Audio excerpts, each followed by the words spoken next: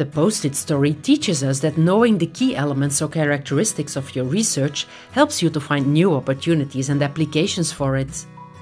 Silver discovered a weak glue that can be removed without any residue and that can be reused.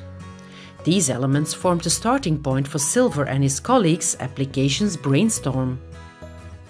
Their first idea was a bulletin board on which you can attach pieces of paper, but this was a small market since bulletin boards were no longer very popular at that time. The second idea were bookmarks that don't fall out, to be used in a songbook, for example.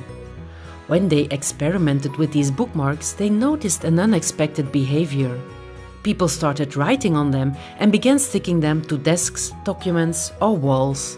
And so the post it was born.